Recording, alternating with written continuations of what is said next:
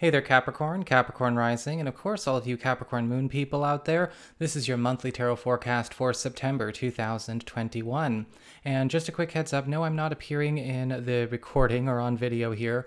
We have a lot of cards here because we're doing a rather extra Celtic cross for the monthly spread, and people like to see the cards, and you know, it's easier to see the cards when they're on full screen.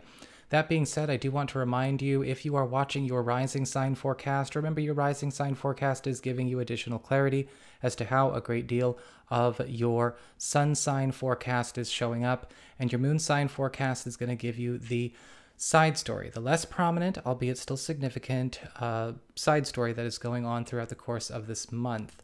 And so we do have this rather large spread here to talk about the whole month, and this is how we're going to go through it. We're going to start off on the left-hand column, and we're going to talk about the appraisal of the month, the chief themes, chief energies, and foci, and the culmination of the month, or how we close up the month going into October. Then we are going to look at money, messages, challenges, and love as per the right-hand column, because the title of the video, comprehensive, not just one topic. And then we are going to, of course, talk about the story of September as it unfolds. So, going to the bottom of the left hand column here, where you sit and what's going on between you and your environment, you do have the King of Swords upright and the Empress upright.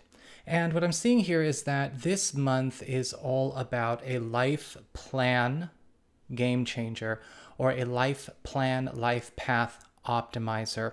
Because with the King of Swords, there is a lot of correcting and perfecting going on to all areas of your life. There is this very strong focus on eliminating a lot of BS and eliminating a lot of dysfunctional, unhealthy, imbalanced, and just all in all non conducive experiences and circumstances that may actually be cluttering up your life experience, whether it has to do with um, you know, activities that seem to be going on or unhelpful people, situations where you might actually be maybe investing your time, energy, and money in the wrong things, or even where you have decided to place yourself in your own life or what you prioritize in your life. Because the King of Swords is coming in and showing you where exactly it's time to get to work on correcting and perfecting how things have been so far. This is also a time where a lot of maybe your plan for the rest of this year and maybe even next year as well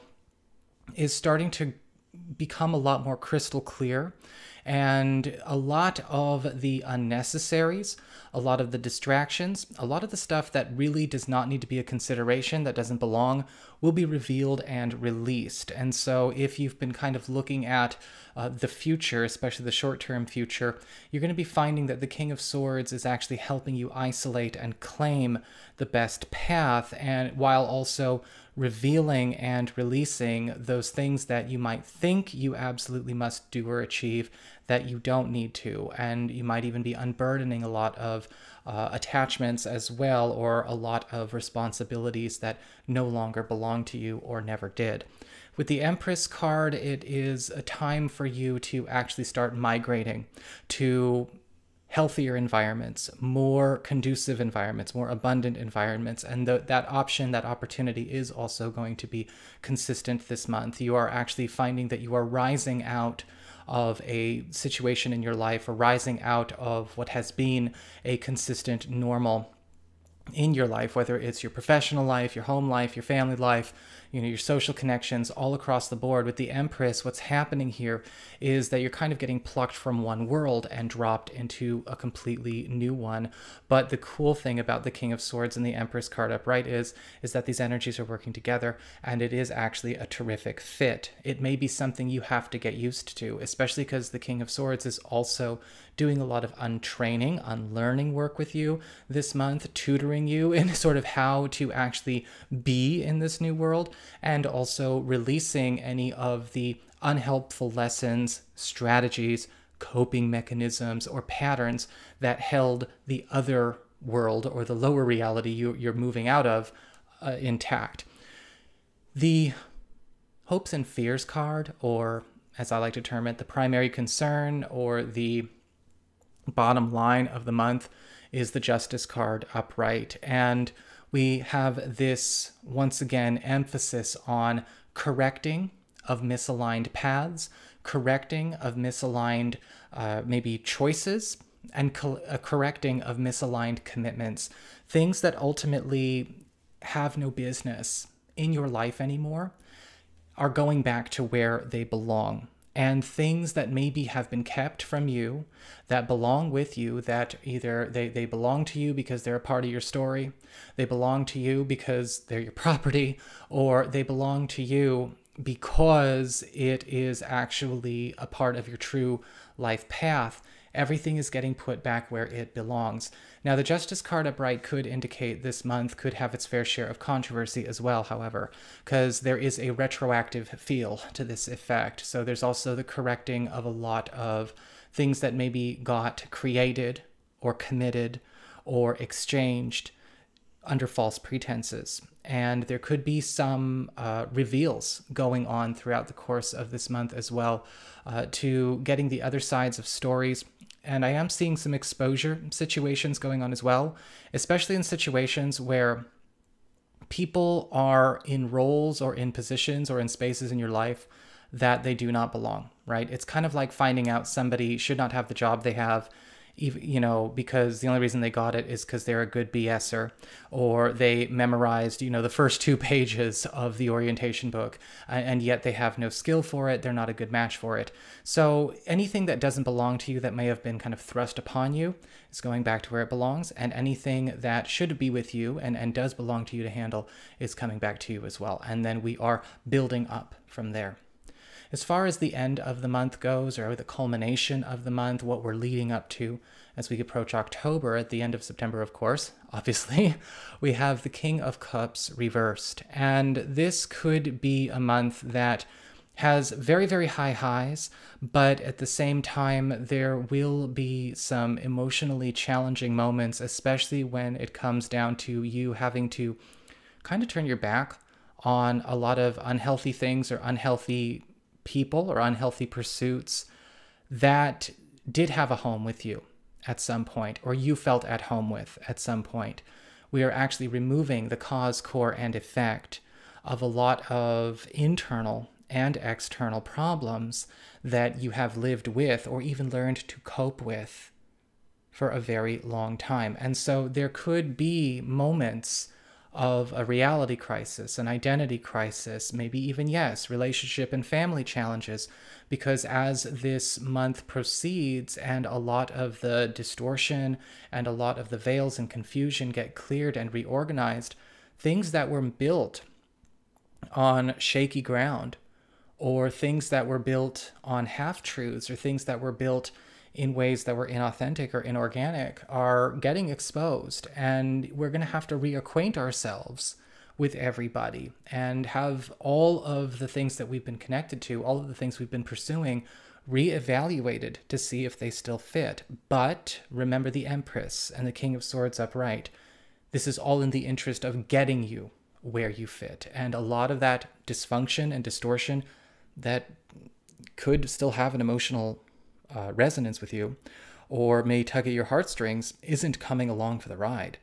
And so there could also be some heartache over the dropping of certain pastimes, certain traditions, and yes, even people that are not keeping current with where everyone is getting a chance to evolve and grow and start to function in a more evolved and abundant way.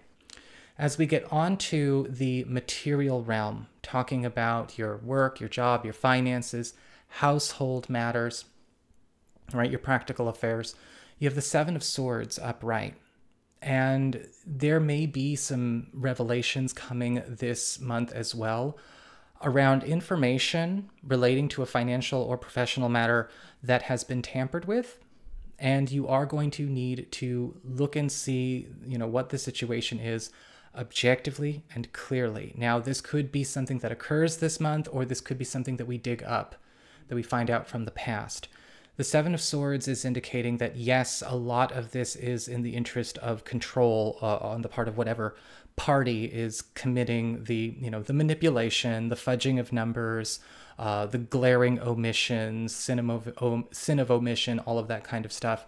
Some of this information could be ornamental. A lot of it, however, is important for you to understand because not only is it showing you the motives of, you know, maybe somebody who's operating in that kind of, you know, shady trash way, but you're also seeing where you maybe have been delayed in some kind of ascent, some kind of growth, some kind of jump in your own material wealth, your job prowess, or the opportunity to step up into a higher station due to being deprived of this information or having this information tampered with. But fear not, okay? As we step into this month, remember the Justice card is also working on a lot of corrections. And so I do feel that this will, of course, not only get discovered, but the correction of the wrongs done or the distortions committed will also be occurring. Now, if you know anyone who's already doing this, it's not happening to you, you're just in the proximity, I would distance myself from that. Again, shady trash, because whoever is doing it, they're getting caught. Okay. And uh, if you're my little brother and you're watching this, let me know if you catch someone. I'll sort it myself. As we get on to your community card, friend, relative, other people in your life, you know, all of the platonic support system you have, you do have the death card upright. And I do see um, you actually parting ways with a friend or a relative that you have long since outgrown. This could be a contact that maybe we had a closer connection to once upon a time, but we have grown apart. This is most likely something that you'll see coming. I say this about the death card a lot. This is a natural transition. This is not a surprise or anything along those lines. It could be this month that uh, it's just a step too, they, they take a step too far and you decide you're, you're done with them. Or it could be that maybe they, right? Because the Seven of Swords could indicate, you know, something going on with family or household manners. It might not always have to do with your job. It could be that that is tied together and that is the final straw for you there. However, I am seeing your whole social support system, your social contact list going through a major transformation. I do feel because the Empress is also a major impactor on your social life and your environmental surroundings, it could be that you are trading a lot of not so great friends, not so great family connections or contacts for what is adopting you this month.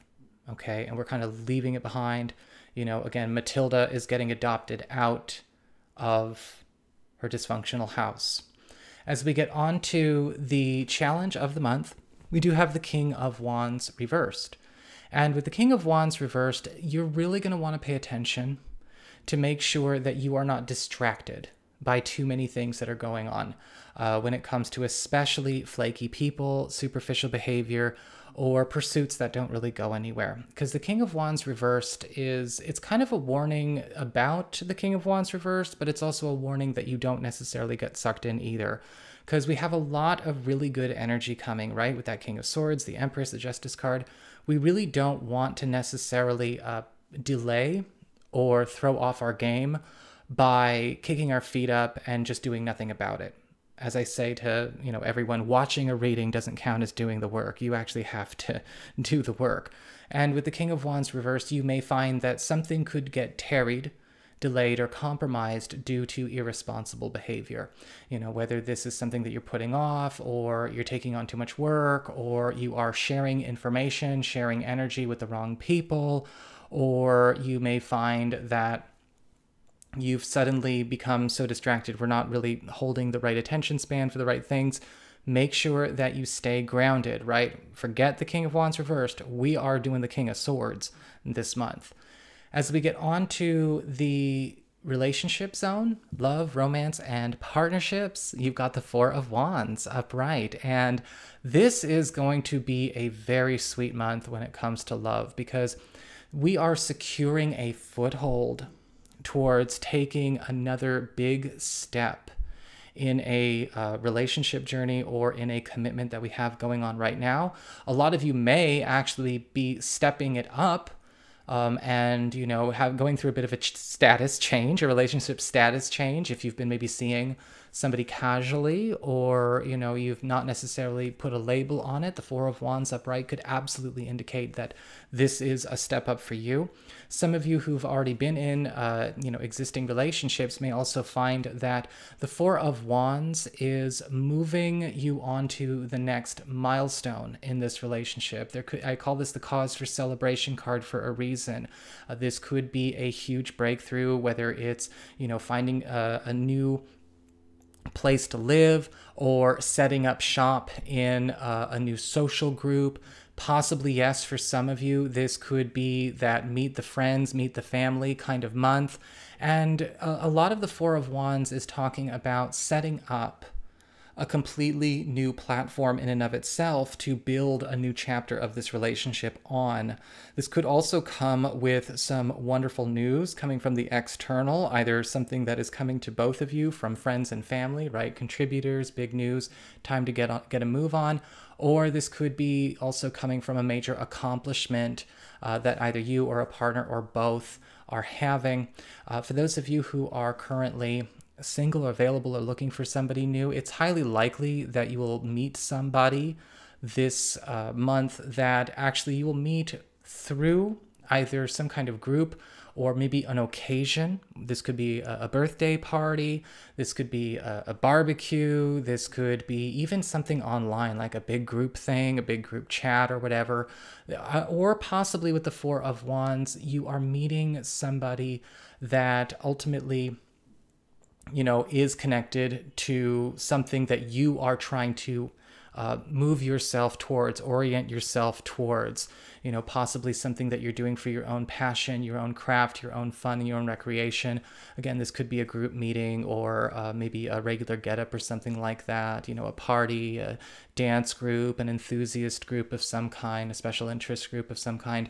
But it's really shining bright for you. I mean, this is something that you are able to again, secure a foothold for a really promising bond here as well. As we get on to your September beginnings, right? How we start September. You have the Three of Wands reversed, crossed with the Devil card upright. And we are brought back to the reminder that you may be missing out on something due to a distraction, due to an attachment, or due to some kind of manipulation of information going on. And it's going to be very important for you to pay attention to what could be going on in that way. Now, whether this is the result of the King of Wands reversed or the Seven of Swords upright, of course, that remains to be seen.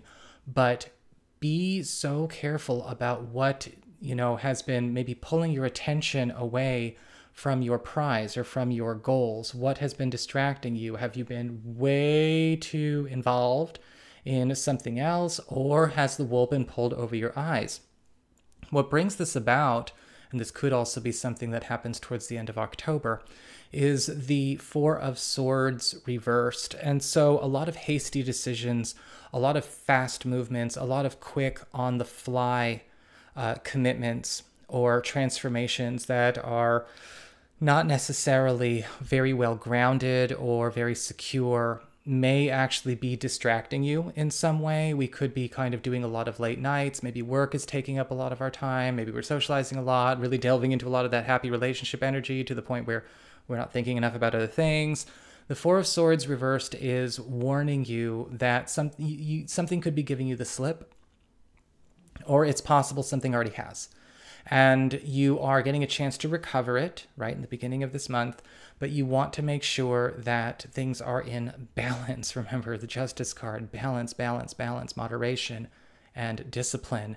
Because we don't want to miss whatever opportunity this three of wands reversed is bringing to the table right right? Whether this is an important date an important meeting of course you know with the four of swords reversed we may be thinking and moving too quickly to be paying enough attention. So make sure we're not getting distracted and make sure that we reveal all information that we require and that we pay attention to where someone or something may be keeping important information away from us that uh, we do need to know.